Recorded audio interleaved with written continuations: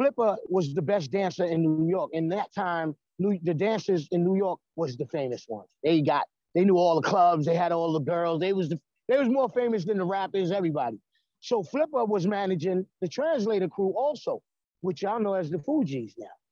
My cousin was going to be the fourth member of the Fugees.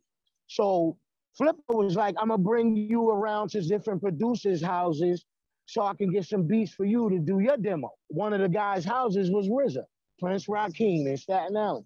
So, you know, we do reggae, you know what I mean? So Freestyle, he had mostly reggae on his demo. So he played his demo for RZA. And RZA was like, yo, it's dope, but I don't, I don't deal with reggae. I don't know what to do with reggae, you know what I mean? So he's like, yo, I got somebody you're gonna love. he put my tape on, and that was it.